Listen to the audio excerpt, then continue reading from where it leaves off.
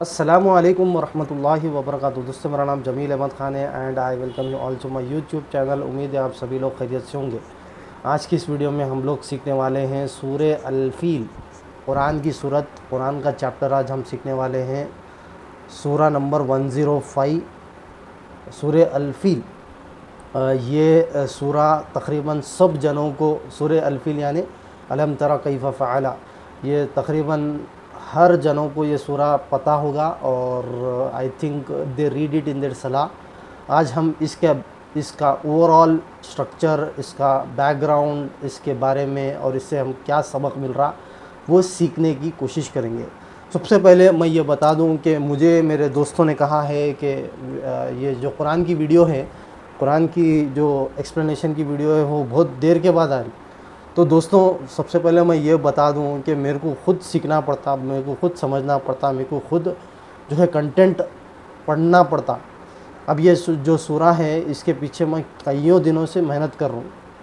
और जब तक किसी सूर्य पे मेरे को कॉन्फिडेंस नहीं आता, जब तक मैं उसके ऊपर वीडियो नहीं बनाता और सबसे पहले मैं, मेरे सर, मेरा, मेरे मेरे को जो कुरान पढ़ाए उनसे मैं मदद लेता हूँ। उसके बाद कितने तफसीर के किताबों का मुताल करना पड़ता। जैसे कि तफ़ीमुल्कुरान है मारिफुल्कुरान है, तफसर इबन कसीर है। ये उसके बाद बयान देखना पड़ता। और डॉक्टर इसरार अहमद का बयान सुनता हूँ और नुमान अली ख़ान और री ओन स्कॉलर से एडवोकेट फैज़ सैद है। इन सारों के जो है बयान सुन के उतने मुताल करके तब जाके मैं जो है अगर मेरे को कॉन्फिडेंस आया हाँ चलो भाई अपन सीख गए अब आगे शेयर कर सकते अपनी इन्फॉर्मेशन को तब तक मैं नहीं बनाता तो इसीलिए इसमें बहुत सारा टाइम लगता है बहुत आ, सारी एनर्जी लगती है। और ये इसीलिए जो है कुरान की वीडियो आने के लिए थोड़ा टाइम लगता। तो आप मेरे साथ बने रहिए इन ताला मेरी ज़िंदगी में ये कुरान पूरी कवर करना है मुझे। इनशाला अगर हयात रही तो पूरे कुरान में सीखूँगा और आपके सामने लाऊँगा थोड़ा थोड़ा करते हुए।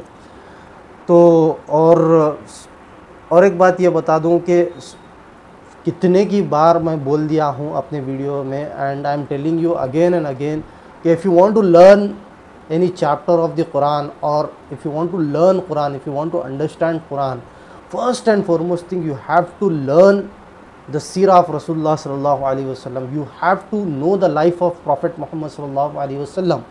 Until and unless you know the life of, you know the biography of Prophet Muhammad sallallahu alaihi wasallam, you are not going to get the proper understanding of Quran. आपको ऊपर ऊपरी लेवल पे समझ आएगा लेकिन जब तक आप कुरान समझना है तो जब जब तक आप जो है अल्लाह के नबी की लाइफ को नहीं समझेंगे आप कुरान नहीं समझ सकते। अच्छे तरीक़े से। क्योंकि हर सूर्य के, हर आयत नॉट इवन सूरा, हर आयत, हर वर्ड्स के पीछे एक बैकग्राउंड रहता, एक जो है, एक बड़ी स्टोरी रहती है। मिसाल के तौर पर सूर्य अल्फीली ले लो।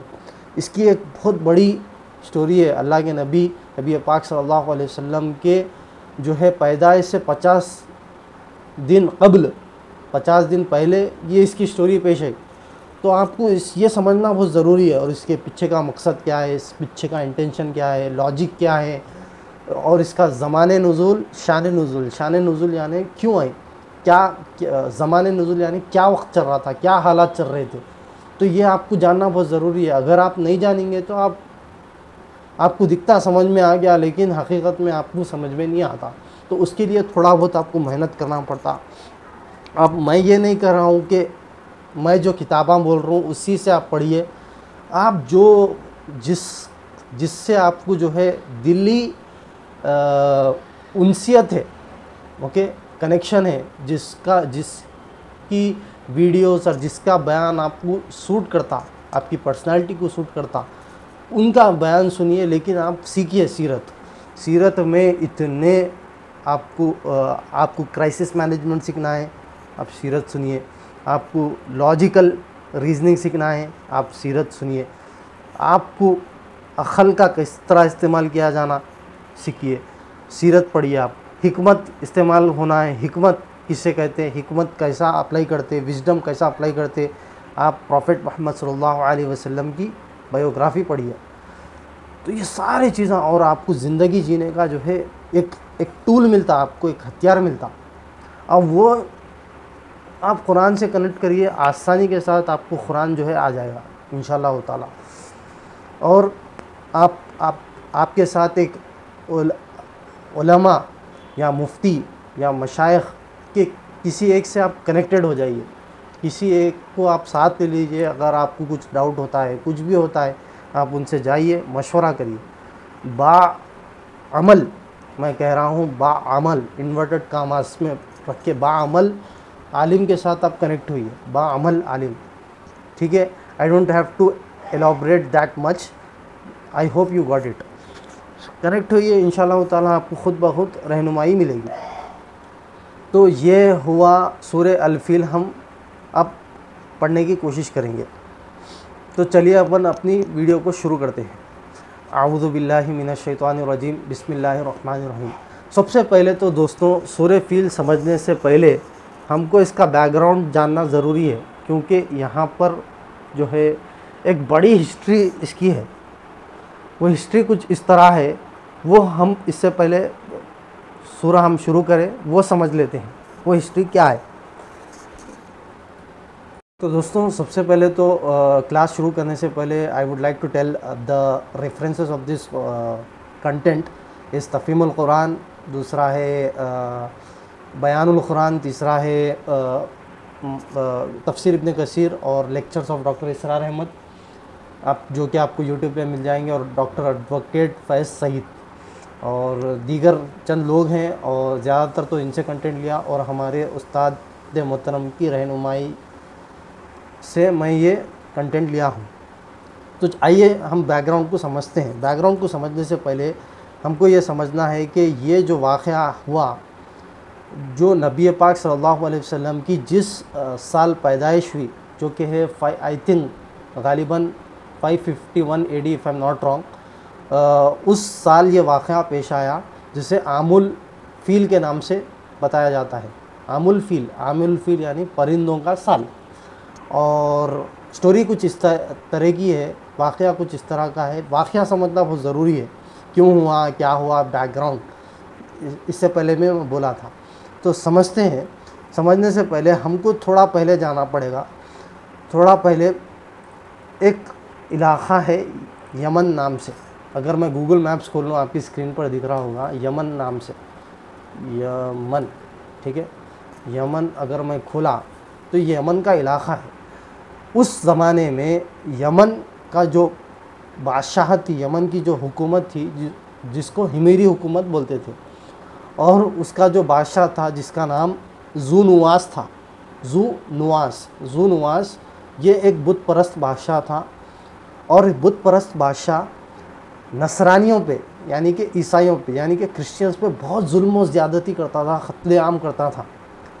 और बाजू में बाजू में अबिसीनियन एम्पायर था, यानी कि इस वक्त का इतोपिया आप मेरे आयरों को देखें तो समझ में आ जाएगा। या अबिसीनिया इतोपिया जो कि अबिसीनियन एम्पायर में नजाशी बादशाह रहता था। नजाशी हबश का था, यानी कि ये अफ्रीका। ये अफ्रीका है ना? अफ्रीका को उस ज़माने में हबश बोलते थे। ये हबशी बादशाह था और नजरानी नजाशी नजाशी बादशाह का नाम था। नजाशी इन द सेंस ये बादशाह का नाम नहीं था। जिस तरह हमारे इंडिया में मुग़ल थे, निज़ाम थे। निज़ाम लखब है। वो जो तख़त पे बैठता, उसका नाम दूसरा रहता। तो इसी तरह नजाशी वो एक लखब है। उसका नाम रिवायतों में आता नहीं। कई रिवायतों में कुछ दूसरे दूसरे नाम हैं। तो हम नजाशी लेंगे। तो नजाशी बादशाह था। और नसरानी हुकूमत थी, यानी क्रिश्चियंस के हाथ में हुकूमत थी। तो नजाशी को जब ये मालूम रहता कि बाज़ू यमन में, बाजू यमन में जूनवास करके एक बादशाह है जो कि अपने जो भाइयाँ हैं, नसरानी भाइयाँ हैं, उनके ऊपर बहुत जुल्म कर रहा, बहुत ज़्यादती कर रहा। तो ये बात उसको हज़म नहीं होती कि मेरे ख़ुद के लोग हैं, मैं इनको किस तरह बचाऊँ? तो ये जो नजाशी बादशाह रहता, अपने दो सिपा सालार अपने जो दो गवर्नर रहते, एक का नाम अब्रहा आश्रम रहता, दूसरा का नाम अलियात रहता। ये नामा याद कर लीजिए, हो सका तो आप पेन बुक पेन लेके लिख लीजिए। एक का नाम अब्रहा आश्रम, दूसरा का नाम अरियाद। अपने दो गवर्नर को ये नजाशी बादशाह यमन की जानब भेजता कि जाओ, उससे मुकाबला करो और अपने नसरानी भाइयों को जुल्म से छुड़ाओ।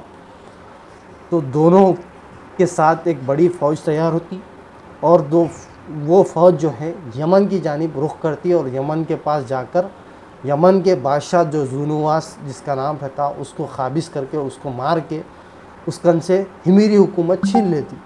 हिमीरी हुकूमत छीन कर हिमीरी हुकूमत छीन कर जो है जो है, अपनी नसरानियों की हुकूमत जो है, उस पर अपॉइंट हो जाती। अब यहाँ पर दो गवर्नर रहते, एक का नाम अब्रहा आश्रम, दूसरा का नाम अरियाद। ये दो गवर्नरों में बादशाहत को लेकर जो है लड़ाई हो जाती। बादशाहत को लेकर लड़ाई हो जाती। तो ये तय होता कि इन दोनों में जंग करेंगे, जो जीता, वो यमन के तख्त पे बैठेगा। और जो जीतेगा, वो जो है, उसकी हिमरी हुकूमत रहेगी और जो हारा, वो तो मर जाएगा और उसकी फ़ौज इसके अंडर काम करेगी। तो अब्राहा आश्रम और अरियात की दोनों की फ़ाइट होती और जिसमें अरियात हार जाता अरियात मर जाता और अब्राहा एज ए बादशाह तख्त पर, यमन के तख्त पर काबिज हो जाता। तो अब ये देखकर नजाशी बादशाह को ये जब ख़बर पहुँचती कि यमन तो हासिल हो गया, यमन की बादशाहत भी हासिल हो गई, लेकिन दो गवर्नरों में लड़ाई हो गई और अब्रहा जो है तख़त पे काबिज हो गया। नजाशी को आर्यात जो है थोड़ा बहुत लाइक करता नजाशी। तो ये देखकर नजाशी बहुत गुस्से में आ जाता। लेकिन यमन का बादशाह बहुत होशियार रहता अब्राहा बहुत स्मार्ट रहता। वो अगर इन इससे बगावत करा तो अब्राहा ये समझता कि मैं आगे नहीं बढ़ सकूँगा और पूरे Arab continent Arab Arabian peninsula को जो है कैप्चर नहीं कर सकता। उसका इरादा इरादा ये रहता कि अरेबियन पेनिनसुला को किस तरह कैप्चर किया जाए। तो वो जो है किसी तरह अपने नजाशी को जो है आ, जो है कन्विंस करने में लगा हुआ रहता। नजाशी नाराज़ रहता, ये बोलता कि मैं तुम्हारे तरफ़, तुम्हारे पास आऊँगा, तुम्हारी हुकूमत को छीनूँगा तुम्हारे से और तुम्हारे सर के बालों को यमन की ज़मीन पर रोनूँगा। तो यमन का जो बादशाह रहता, उससे पहले ही एक टोकरा रहता, अब्राहा। अब्राहा टोकरा लेके अपने बाल, पेशानी के बाल काट के जो है, वो टोकरे में डाल के, टोकरे में मिट्टी भी डालता यमन की मिट्टी डालता और अपने पेशानी के बाल डालकर जो है नजाशी की तरफ़ अपने एलची को भेजता। आप कह रहे थे ना कि आप मेरे पास आएँगे और मेरे बालों को रोन देंगे यमन की मिट्टी में तो ये लो यमन की मिट्टी भी हाजिर है, मेरे बाल भी हाजिर है, आप आप अपने पैर से रोन दे सकते। तो ये देखकर, चलो भाई, इसकी हिमायत हासिल कर लेता, इसको कन्विंस करने में कामयाब हो जाता। कामयाब होने के बाद अब आते हैं मुशरकी ने मक्का की तरफ़। अब यमन में अब्रहा अपना जो है हायर अथॉरिटी तो अभी भी नजायशी रहता नजायशी की नजायशी जो जो भी ऑर्डर्स भेजता वो अब्रहा जो है आ, वो करता। तो अब्राहा क्या करता? नजाशी नजाशी की हिमायत हासिल करने के लिए ये बोलता कि मैं एक कलीसा बनाना चाहता हूँ। और कलीसा कलीसा यानी कि चर्च को बोलते हैं। यमन में एक कलीसा बनाना चाहता हूँ, जो सबसे बड़ा हो, और लोग आए उसको देखने के लिए, ताकि जो है नसरानियों की भी हमको जो है कुछ मुकाम हासिल हो दुनिया में। क्योंकि ये जो लोग रहते कौम सबा के लोग रहते और जो कौम सबा का जो बाँध टूटता, जिसकी वजह से कितने की कौम सबा के ऊपर जब अजाब आता और बाँध टूटता तो कितने की इन लोगों की तजारतें वो हो जाती, नुकसान में और ये ख़ुद जो है वो हो जाते, बंधु बन के जो है तमाम दुनिया में फिरते रहते। तो इसका, इसके अब्राह के दिल में ये रहता कि किस तरह मैं जो है वो तजारत भी हासिल करूँ, वो सदारत भी हासिल करूँ, वो मुकाम भी नसरानियों को दिलाऊँ।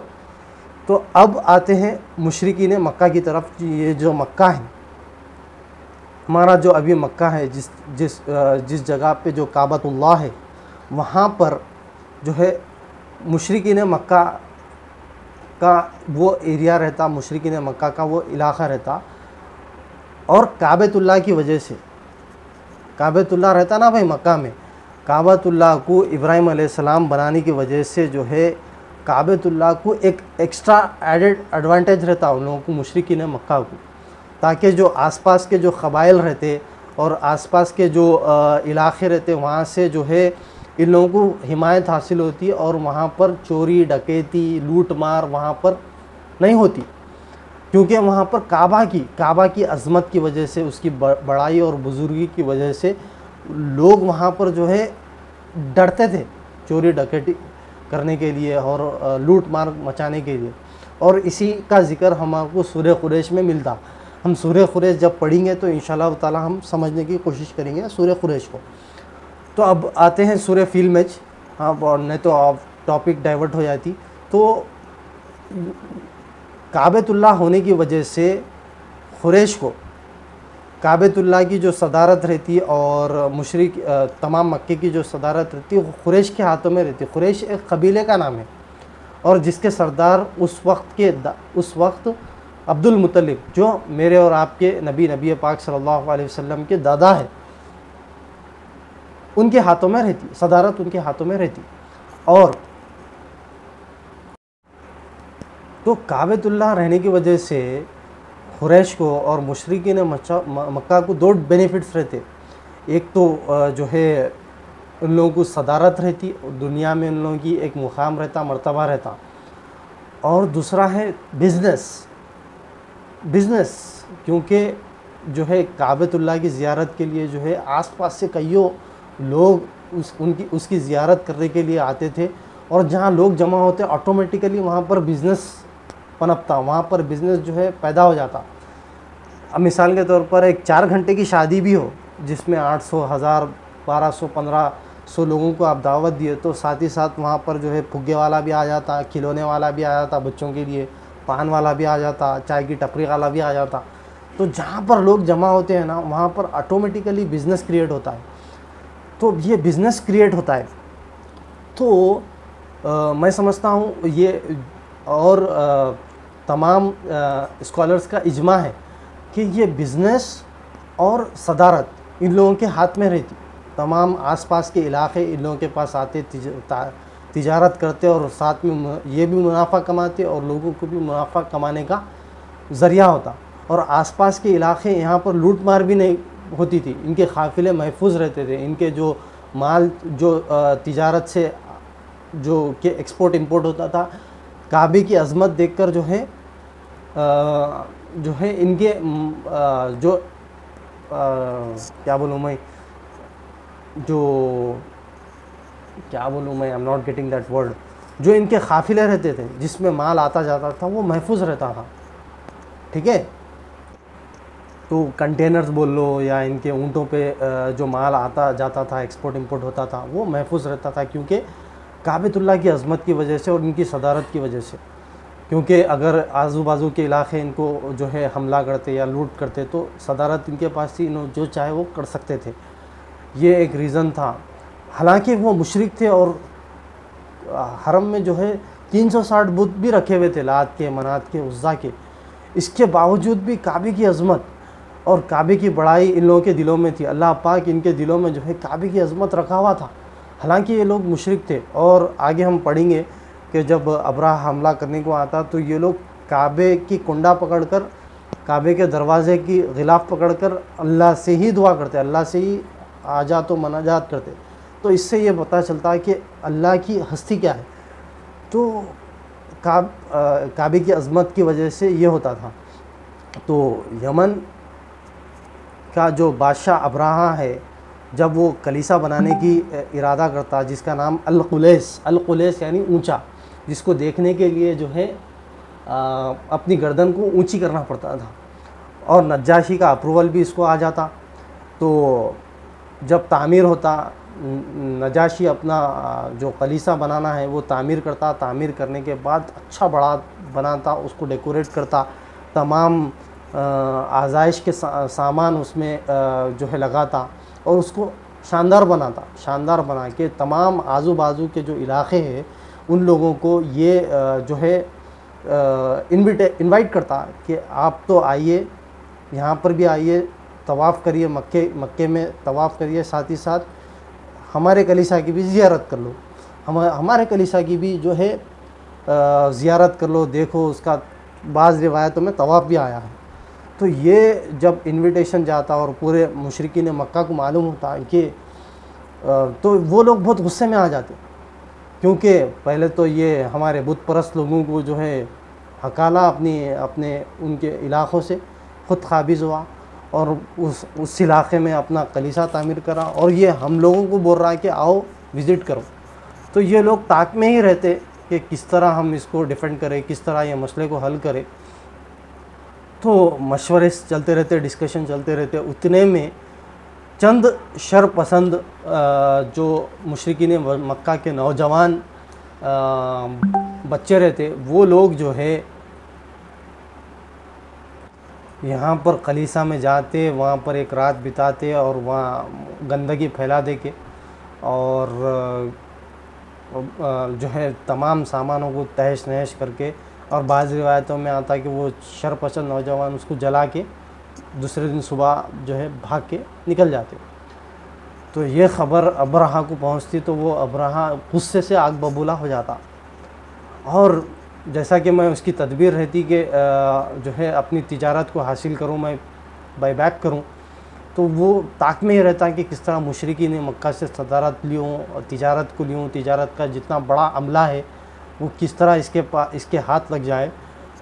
तो ये ये इस, इन्हें इसके दिल में ताक में ही रहता है कि उसमें ये इंसिडेंट होने की वजह से उसको हवा मिल जाती, उसको एक बड़ा रीज़न मिल जाता और वो ये इरादा कर लेता कि अब मैं काबे को ढा दूँगा।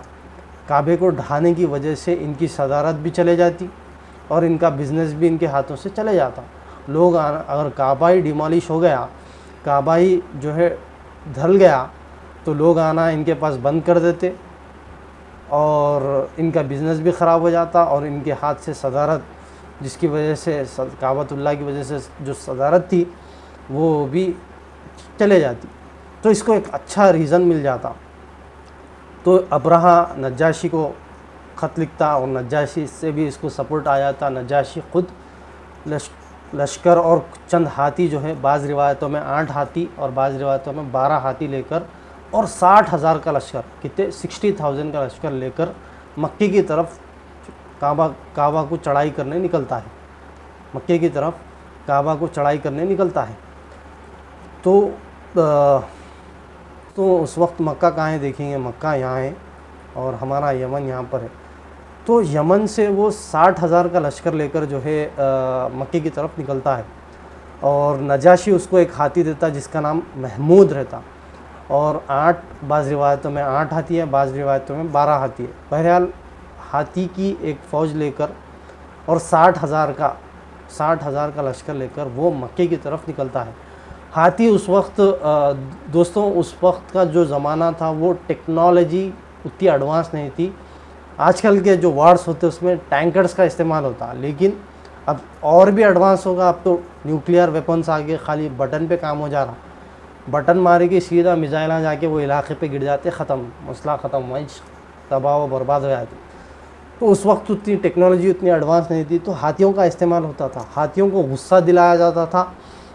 वो हाथियाँ जो है बड़े बड़े हैत के रहते थे वो हाथियाँ और दुश्मन की फ़ौज में घुसकर तहस नहस कर देते थे। दुश्मन को दुश्मन को कुचल देते थे, घरों को तोड़ देते थे, मार देते थे। तो महमूद जो हाथी थी, उसको जो है एक बड़ी जंजीर बनी हुई थी और उसका प्लान ये था कि काबे के पास जाएँगे। काबे को काबे के दरवाज़े को और काबे की दीवारों को जो है वो जंजीर से एक कुंडी उसके दीवारों पे लगाएँगे। सूंड दूसरा एंड जंजीर का सूंड पे रहता, खाली हिले, खाली मुंडी हिलाया, बोल तो काबा ढा जाता, उसका ये प्लान था। तो ये साठ हज़ार का लश्कर लेकर मक्के की तरफ़ निकलता है। मक्के की तरफ़ निकला तो बीच में एक मुकाम आता जिसका नाम मैं भूल रहा हूँ। तो बहरहाल, नाम मैं बता दूँगा बाद में। वो मुकाम पे जूनफर करके एक शख्स रहता, जो यमन का जो पहला बादशाह था, जिसको अबराह ने क़त्ल किया वो बादशाह का वो बेटा रहता। और ये जो जूनफर रहता, अपने दिल में ये तमन्ना लेके बैठे हुआ रहता, ताक में रहता कि अबरहा को मुकाबला करना है। तो ये जूनोफर क्या है? आजू बाजू के जो अरब कबाइल है, उन लोगों को मोटिवेट करके, उन लोगों को जो है अपनी तरफ़ लाकर एक छोटी फ़ौज तैयार करके अबरहा पे हमला करता। लेकिन जूनोफर उसमें हार जाता, क्योंकि इन लोगों का साठ हज़ार का लश्कर, वो छोटे मोटे कबाइल कहाँ से जीतेंगे? तो ये हार जाता। हार जाता तो अब्राहा को रास्ता मालूम हो, करने का रहता, मक्के का, काबे का। तो जूनफर को नहीं ख़त्ल नहीं करता वो। जूनफर को ग़ुलाम बना लेता और ये कहता कि तू मुझे रास्ता बताएगा मक्के की तरफ़। जूनफर भी उसको मान लेता, अपनी जान की जान की जान के लाले पड़े हुए, जान बच जाती बोल के वो भी मान लेता। फिर आगे एक मुकाम आता अल अल मुखम्मस मुकाम का नाम क्या है? अल मुखम्मस अब आज के दौर में वो नाम है नहीं है, नहीं मालूम। तो वहाँ पर भी एक शख्स जो है, जिसका नाम नुफ़ैल बिन हबीब, इसकी दुश्मनी रहती है अबराहा से। नुफ़ैल बिन हबीब भी सेम जूनफर जैसा करा, वही उसी तरह आजू बाजू के इलाक़ों से अरब फौज को जमा करता और हमला करता। तो ये नुफ़ैल बिन हबीब का भी अंजाम जो है सेम होता। अबरा इसको भी शिकस्त दे दे के आगे बढ़ जाता और नुफ़ैल बिन हबीब को ये बोलता कि तू भी मेरे को मक्के का रास्ता बताएँगा। तो वो अपने जान बचाने के लिए वो भी जो है, ठीक है बोल के अब्राहा को रास्ता बताने में मदद करता। फिर जैसा आगे बढ़ते रहता, कुछ दिन बाद तायफ तायफ में जो है ये एंट्री मारता। तो तायफ में बनु सकीफ़ के लोग रहते। बनु सकीफ़ एक कबीले का नाम है और ये लोग जो है लात की लात को मानने वाले ज़्यादा रहते हैं। लात जो बुत है, लात जो बुत है, उसको मानने वाले बहुत ज़्यादा थे और ये लोग बड़ा मंदिर तामीर करते हैं, लात का। लात का मंदिर तामीर करते बनु सकीफ़ के लोग।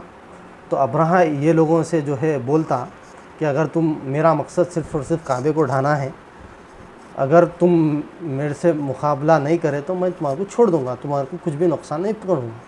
तो बनो सकीफ़ के लोग भी होशियार रहते अगर हम मुकाबला करेंगे तो हम शिकस्त खा लेते और ये बंदा जो है हमारे लात के मंदिर को भी नुकसान पहुँचा देता। तो लिहाजा बेहतरी इसमें है कि खामोश सुलह कर लो। तो ये लोग सुलह करके बाजू हट जाते। तो ताइफ भी जो है, ताइफ के आगे भी चले जाता ताइफ के आगे जाने के बाद एक मुकाम आता जिसका नाम अलमुखम्मस है। अलमुखम्मस मक्के से चंद कोस दूर, तीन या चार कोस दूर। यानी कि मील दूर बोल सकते हैं आप। एक मील होता है डेढ़ किलोमीटर का। होता है, वहाँ पर आकर अपना पड़ाव डालता। और प्लानिंग करते रहता कि काबे को ढाना है एक दो दिन में। तो वहाँ पर मुशरकी ने मक्का के ऊँट चढ़ते रहते, घोड़े चढ़ते रहते। तो सारे ऊँटों को, जानवरों को, चरवाहों को जो है अपने कब्ज़े में ले लेता। उसमें जो है अल्लाह के नबी नबी पाक सल्लल्लाहु अलैहि वसल्लम के दादा जो कि है कुरैश के सरदार, मक्के के सरदार रहते उस वक्त और मक्के में जो कुरैश सबीला है, कबीला इसके सरदार रहते, उनके 200 ऊँट रहते। वो भी कब्ज़े में इसके आ जाते, अब्राहा के कब्ज़े में आ जाते। और अब्राहा अपना एलची भेजता, अब्दुल मुतलिब को। ये एलची यानी के जो है मैसेंजर। भेजता है अब्दुल मुतलिब को कि मेरा इरादा सिर्फ़ और सिर्फ़ काबे को ढाना है। तो अब्दुल मुतलिब सारे कबाइल के सरदारों को बुलाकर मशवरा करते कि क्या किया जाए। तो डिस्कशंस होते रहते तो ये जो है अब्दुल मुतलिब ये राय देते कि अगर हम मिलकर भी जो है कबीलों से अगर तमाम कबील वाले अरब कबा, कबाइल वाले मिल गए, मिल के भी चलाई करे तो कुछ दस बारह हज़ार का लश्कर होता और हम आसानी से उसके पास हाथियाँ हैं बड़े बड़े हथियार हैं और हमारे पास उसकी उसकी उतनी इस्तात नहीं है कि उसके लश्कर को हम हराए। तो लिहाजा ये आ, ये डिसीज़न होता कि जो जिसका मालिक है उसकी हिफाजत खुद करे। हम लोग मुकाबला नहीं करेंगे अब्राह जब आएगा तो हम लोग पहाड़ों पे चल जाएँगे अपने बीवी बच्चों को लेकर और अपने घरों की हिफाजत हम खुद करेंगे। ये मशवरे में तय होता। और अब्दुल मुतलिब को जैसा ही पता चलता है कि उनके 200 ऊँट इसके कब्ज़े में हैं तो वो अब्राहा के पास जाते। अब्दुल मुतलिब माशाल्लाह से बहुत शुजात वाले बहादुरी वाले जो हमको सीखना है वो वाले रहते और जिस जैसा ही वो उसके आ, मुकाम पे जहाँ वो पड़ाव डाल के बैठा हुआ रहता तो वहाँ पर जब पढ़ते जब वहाँ पर आते तो अब्राहा उनको देखकर अपनी सीट से नीचे उतर जाता। या कुछ रिवायतों में उनको अपने ऊपर अपनी सीट पे बुला लेता। तो ताकि बराबरी की डिस्कशन हो। तुम छोटे हैं हम बड़े नहीं। क्योंकि उनकी उसकी उनकी जो कैपेबिलिटी है उनकी जो आ, मुकाम था मर्तबा था जो पोजीशन था वैसा उन्होंने बनाए थे। कबाइल के सरदार होने के बावजूद भी। तो इससे क्या हमको सीखने को मिल रहा हो? तो हमको अपना मुकाम इस तरह बनाना है कि रिसोर्सेस हमारे पास हो, ना हो, आगे वाला ये सुनना कि हाँ भाई बंदे में दम है। चलो हम टॉपिक पे आते हैं। तो डिस्कशन होता तो अब्दुल मुतलिब ये बोलते कि मेरे जो 200 ऊँट आपके कब्ज़े में है, वो मुझे चाहिए, मैं वो वापस लेने आया हूँ। तो ये सुनकर अब्राह जो है, बाज़ रिवायतों में गुस्से में बल्कि है, बाज़ रिवायतों में जो हैरत में आ जाता कि ये बंदा मैं आया हूँ ये इरादे से कि इनके मुकाम को, इनका जो मर्तबा है, जो हिमायत है, जो सरदारी है, इनको तबाह करने के लिए आया हूँ, काबे को उठाने की वजह से और इनकी तिजारत छीनने आया हूँ। और ये खाली अपने 200 ऊँट के मुतालबा कर रहा। बोल तो अब्दुल मुतलिब का ये जवाब रहता कि मैं अपने ऊँटों का मालिक हूँ, इसीलिए मैं ऊँटों का मुतालबा करता हूँ। काबतुल्लाह का मालिक अल्लाह है, सिर्फ़ और सिर्फ़ अल्लाह है। और वो अपने घर की हिफाजत करना खुद जानता है। ये सोचकर जो है अब्राहा का गुस्सा थोड़ा बहुत ठंडा होता और उसकी हैरत थोड़ी बहुत कम होती। और ये बास रिवायतों में आया है कि वो ज़रा हिमाकत वाली बात कर देता कि मेरे जो इरादे हैं, उसको कोई भी जो है पस्त नहीं कर सकता। कुछ इस तरह के स्टेटमेंट्स वो देता। तो बहरहाल अब्दुल मुतलिब अपने जो 200 ऊँट है वो लेकर आ जाते हैं। आने के बाद सारे सरदारों से जो है ये बोल देते कि अपने अपने घरों की खुद हिफाजत कर लो और जब वो आएगा तो हम लोग पहाड़ों के चोटी पे चल जाएँगे और देखेंगे क्या होता है। और उससे पहले वो सारे सरदार मिलकर काबे की कुंडी, काबे के दरवाजे की कुंडी पकड़कर और बाज़ रिवायतों में अब्दुल मुतलिब दुआ करते हैं कि अल्लाह जो है तू बखूबी जानता है कि तेरे घर की हिफाजत तू कैसा करे। हमने हमारे एतबार से जो हो सकता है, वो हमने किया। बाकी अब तेरी मर्ज़ी बोल के ये बोलकर निकल जाते हैं। पहाड़ों की तरफ़ सारे जो फैमिली वगैरह है, बीवी बच्चे हैं, वो सारों को लेकर सरदार और जितने भी मुशरकिन मक्का के लोग हैं वो पहाड़ की चोटी पे निकल जाते तो यहाँ पर जो पड़ाव, जो दालेवा रहता अब्राहा अपने फ़ौज को लेकर काबी की तरफ़ आगे बढ़ते रहता। दिन की सुबह होती और आगे बढ़ते रहता। और मीना का जो मुकाम है, आजकल का जो मीना का मुकाम है, अगर हज को गए होंगे, मैं तो नहीं गया। इन ताला अल्लाह पाक हम सबको जाने की तोफ़ी दे। इरादा मेरा हो रहा है। इन उम्र को जाने का इन जाएँगे। कभी ना कभी इन कैसा भी जाएँगे। तो देखेंगे ये मुकाम तो मीना का जो जिस जहाँ पर अजाब आया था, वहाँ पर रुकने की इजाज़त नहीं है। अल्लाह के नबी की हदीस है कि वहाँ पर हम रुक नहीं सकते। तो तमाम हाजियों को जो है, वहाँ पर जल्दी जल्दी से चलो बोल के इंस्ट्रक्शंस मिलते हैं, क्योंकि वहाँ पर अल्लाह का अजाब आया था, यही चदाब आया था। तो जो मुकाम पे वो पहुँचते हैं तो जो महमूद जो हाथी रहता, वो आगे बढ़ता ही नहीं। पीछे पीछे मुड़ाओ तो मुड़ जाता, दाई जानब मुड़ाओ तो मुड़ जाता, लेफ़्ट जानब मुड़ाओ तो मुड़ जाता। लेकिन जब आगे कहने को कहा जाए तो आगे बढ़ता ही नहीं। और जो है, उसको क्या करते थे? अब ये देखकर अब्राहा बहुत गुस्से में आया था तो फिर, जो है, एक, उस ज़माने में एक, टूल रहता था, जिससे हाथियों को डायरेक्ट करते। कान के पास वो एक कीले की कीले की शक्ल में रहता, वो कीले को जो है कान की तरफ़ चुबाए तो वो गुस्से में आता, गुस्से में आके जो है भागता। तो वो करने की वजह से भी जो है कुछ भी असर नहीं होता हाथी को। और वो करते करते हाथी को ये रिवायतों में आता है कि खून आ जाता, कान की तरफ़ खून आ जाता, खून निकलना चालू हो जाता, फिर भी वो असर नहीं करता। तो ये देखकर वो गुस्से में आ जाता, गुस्से में आके जो है अपनी फ़ौज को ये कहता है कि तुम आगे बढ़ो, तुम आगे बढ़ के काबे की दीवार को गिराओ।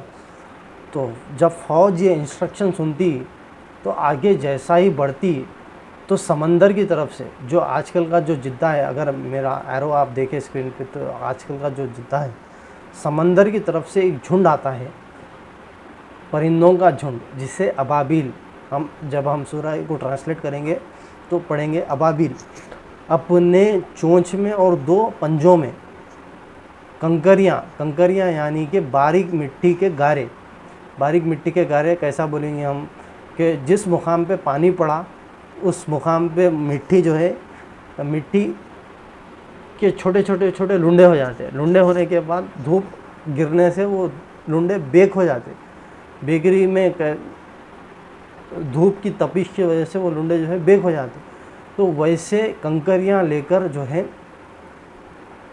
झुंड की शक्ल में काबे की तरफ़ जो है वो लोगों की तरफ़, फ़ौज की तरफ़ आते और उनके तरफ़ आके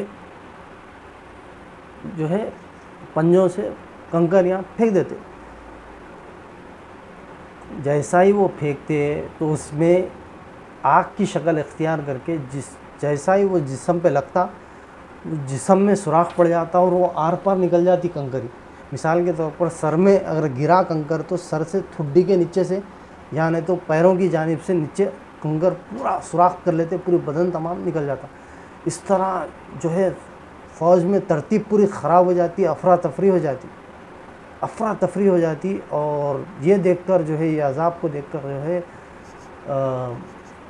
अब्राहा अपने यमन की जानब भागना चालू कर देता। और यमन की जानब भागते भागते सना का जो मौका आता, वहाँ पर उसके आज़ा पूरे कट जाते, वो वहाँ पर दम तोड़ देता। तो ये अल्लाह की बहुत बड़ी खुदरत थी, ये अल्लाह की बहुत बड़ी निशानी है। और ये ये जो सूरा पेश आया वो फिफ्थ नबी यानी कि अल्लाह अल्लाह के नबी की जब जब उम्र थी 45 फाइव ईयर्स फिफ्थ नबी में ये सूरा नाजिल हुआ। और मुशरकी ने मक्का को ये जवाब दे रहे कि क्या तुमने अल्लाह की निशानी, जब वो निशानी पूछते तो मुशरकी ने मक्का को ये अल्लाह पाक जवाब दे रहे कि क्या तुम हाथी वालों के साथ क्या हुआ नहीं देखे? वो किसकी निशानी थी? वो अल्लाह की, अल्लाह ही की तो निशानी थी। उनकी तरह, उनकी तर, उनकी जो प्लानिंग को किस तरह बिगाड़े? क्या तुम ये नहीं देखते?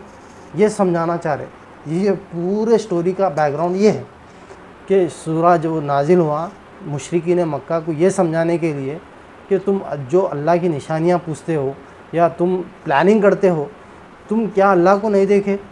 जस्ट अल्लाह के नबी के पैदाइश के पचास दिन पहले या चालीस दिन पहले वाक़ हुआ था ये। जब अबराह काबे को उठाने आया था, उसकी, उसका प्लान था कि तिजारत हासिल करूँ सदारत हासिल करूँ तो किस तरह वो तिजारत को जो है बचाए? अल्लाह अल्लाह पाक, किस तरह सदारत को बचाए तुम्हारी? क्या तुम ये नहीं देखते बोल के अल्लाह पाक? कुरान में अल्लाह के नबी के ज़रिए से अल्लाह के नबी को वही करते हुए मुशरकिन मक्का को समझा रहे तो ये पूरा सूर्य का मोटो है। तो इससे दोस्तों हमको ये सीखने को मिल रहा है कि जो है अल्लाह पाक ऐसी वाहिद हस्ती है जो अब, जो जो है कुरान की हिफाजत करना, अपने घरों की हिफाजत करना खुद जानता और, जो है खुद जानता है और जो है हमको चाहिए कि हम इसके ऊपर अमल करें, अल्लाह की वहदानियत को जाने, अल्लाह की किबरियाई, अल्लाह की कुदरत को जाने। और ये जानते हुए उससे डरे। उससे डर जब पैदा होता तो अमल करना आसान होता। हमारी आखिरत की ज़िंदगी जो है संवारना आसान होता और इस दुनिया में अच्छे काम करना आसान होता। अच्छे काम करेंगे हम तो इन ताला कौम का फ़ायदा होगा, लोगों का फ़ायदा होगा, उम्मत का फ़ायदा होगा, दुनिया का फ़ायदा होगा। ठीक है? तो ये है, अगर हम हमारी बुज़ुर्गी, हमारी बढ़तरी, हमारी बड़ाई, जैसा मुशरकी ने मक्का या अब्राहा में लगे रहेंगे, हमारी शाइनिंग मारने में, हमारी हिमाकत में, मोतेबरी में लड़, लगेंगे तो भी हमारी है तो आइए हम सूर्य को जो है पढ़ते हैं और इसको और अच्छे से समझेंगे। आउज़बिल्ला सूरा आपके स्क्रीन पर है। आउज़बिल्लिमिनशैतवानरजीम बसमीम अलम तर कैफ फ़अल रब्बुक बिअसहाबिल feel. Have you not seen how your lord dealt with the people of elephants तुमने देखा नहीं कि तुम्हारे रब ने हाथी वालों के साथ क्या किया? अलम यज फ़ी तज़लील। Did he not bring their plan to naught क्या उस ने उनकी तदबीर को अकारत नहीं कर दिया? अरसल अलैहिम तैरन Ababeel and he sent against them swarms of birds और उन पर परिंदों के झुंड के झुंड भेज डाले। मिन सिज्जील which smote them with stones of baked clay जो उन पर पकी हुई मिट्टी के पत्थर फेंक रहे थे। फजालहम का cool and made them like straw eaten up by cattle फिर उनका ये हाल कर दिया जैसे जानवरों का खाया हुआ भूसा। तो आपके सामने तो स्टोरी पूरी आ गई। अब वो स्टोरी को नज़र रखते हुए ये कुरान के सुरे को आप समझो। तुमने देखा नहीं कि तुम्हारे रब ने हाथी वालों के साथ क्या किया? जैसा ने मैं, जैसा कि मैंने बोला था कि ये फ़िफ्थ नबवी की सूरत है, पाँचवीं नबवी में ये सूरत नाजिल हुई। वहाँ पर मुशरकिन मक्का प्लानिंग करते थे। उनकी प्लानिंग को किस तरह और निशानियाँ मांगते थे। अल्लाह अल्लाह के नबी से निशानियाँ मांगते थे। अगर सच है तो लाओ निशानी, लाओ कुछ निशानी। तो वही बोल रहे, क्या तुम नहीं देखे कि हाथी वालों के साथ क्या क्या अल्लाह ने? क्या वो निशानी नहीं है क्या?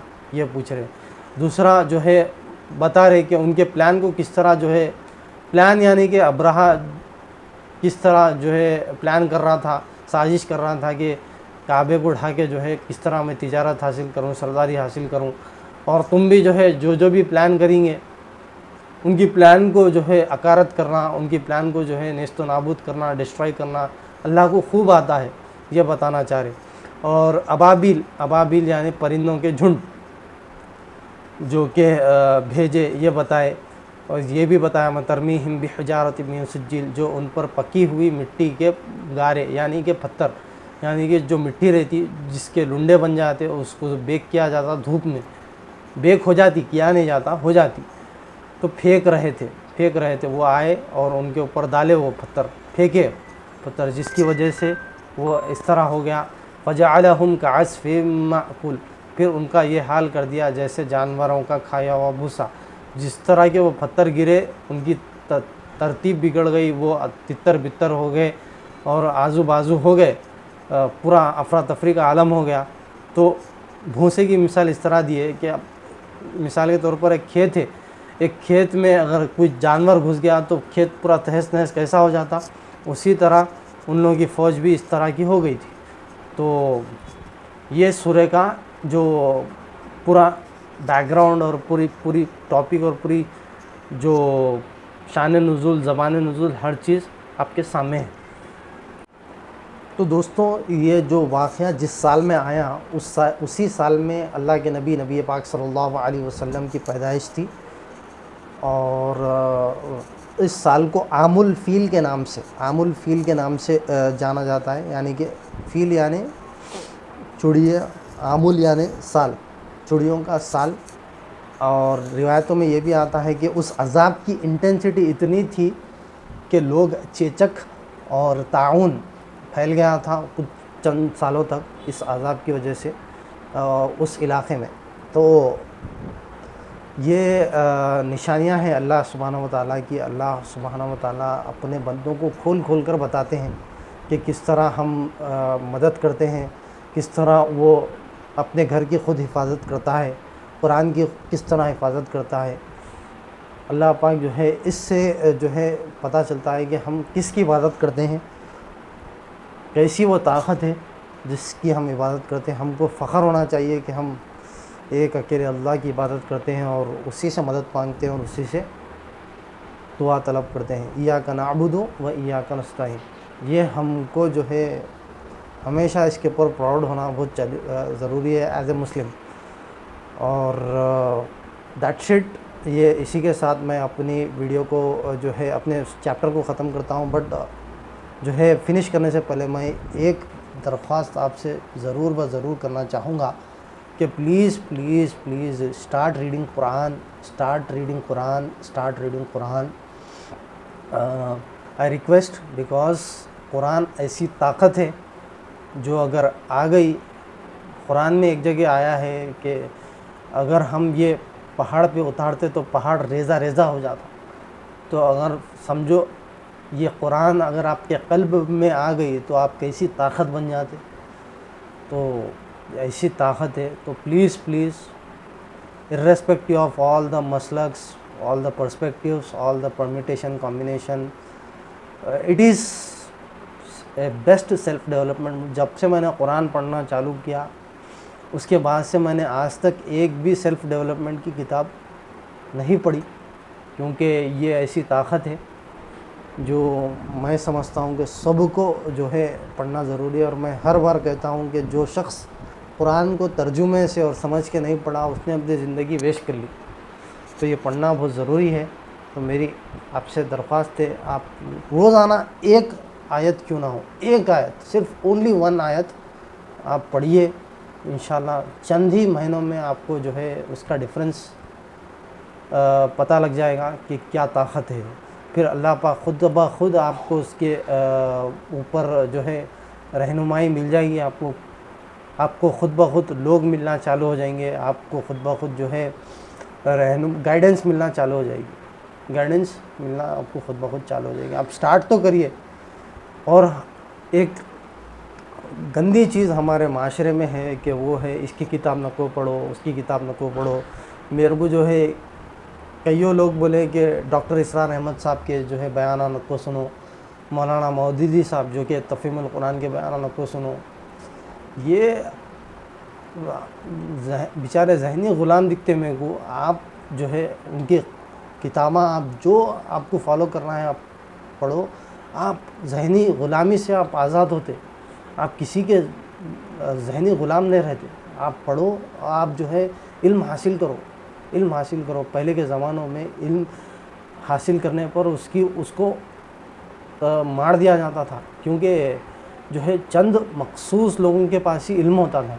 अगर हम इल्म हासिल करें तो हमारी टपरी हमारी कुर्सी ख़तरे में आ जाती। है अगर ये लोग एम्पावर हो गए तो हमारी कुर्सी जो है, ख़तरे में आ जाती है लिहाजा इन लोगों को जहनी ग़ुलाम रखो। इस वास्ते उन लोगों को लाइब्रेरियों से दूर रखा जाता था। उन लोगों को जो है, ज़्यादा दूर की बात नहीं कर रहा हमारे अंग्रेज़ जो ईस्ट इंडिया कंपनी वाले जब आए थे, उनके साथ भी ऐसा होता था। किताबें पढ़ने नहीं देते थे। अगर कोई शख्स किताब के साथ दिख लिया तो उसको वहीं अंग्रेज़ पकड़ के मारते थे। ये क्या सीख रहा है बोल के तो अभी भी शायद हमारी जहनी ग़ुलामी उस उस उस लेवल की मैंटालिटी है। आप हर एक की किताब पढ़ो अब हर एक क्या सुनो और आपको जो मतलब आपका आपको जो जहन बोल रहा है आई मीन लाइक आप जिस तरह आ, कैसा बोलूँ आप खुद ब खुद अल्लाह पाक रहनुमाई कर देते सही रास्ते पे। आप आपका काम है कोशिश करना अल्लाह पाक जो है रहनुमाई आपकी कर देते किसी भी तरह रहनुमाई कर देते आप गुमराह नहीं होंगे। और वीडियो बनाते खुद भी, कुरान की वीडियो बनाते हो कईयों लोग बोले, मुझे, इसकी वीडियो नको बनाओ, कुरान की वीडियो नको बनाओ, ये एक्सप्लेनेशन की वीडियो नको बनाओ, तफसीर की वीडियो नको बनाओ। अरे भाई, मैं पढ़ रहा हूँ, समझ रहा हूँ, आगे पहुँचा रहा हूँ, जो मेरा काम है, जो जिस काम ने, जिस काम को अल्लाह ने हुक्म दिया, जिस काम को करने का अल्लाह ने हुक्म दिया, अल्लाह के नबी नबी पाक सल्लल्लाहु अलैहि वसल्लम ने करने का हुक्म दिया, मैं वो कर रहा हूँ। कुन तुम खैरा उम्मत नखरी जतिलनास लोगों को जो है भलाई का हुक्म देना है, खुद भी अच्छे काम करना है, लोगों को भी भलाई का हुक्म देना है। ये काम है करने के, हर एक मुसलमान को करना है। एक भी आप पढ़े हैं, आप उसको जो भी आप पढ़े, उसको फॉरवर्ड करिए, उसको फॉरवर्ड करिए। इससे जो है इल्म बढ़ता है। इल्म बढ़ने से जो है माशरे में खुशहाली आती सो उम्मीद करता हूँ आपको ये वीडियो पसंद आई होगी। अगर पसंद आई है तो प्लीज़ प्लीज़ इसको पढ़िए और समझिए और अपनी ज़िंदगी में लाइए। That's it from my side I will be back in another video till then your brother Jamil Ahmed Khan signing off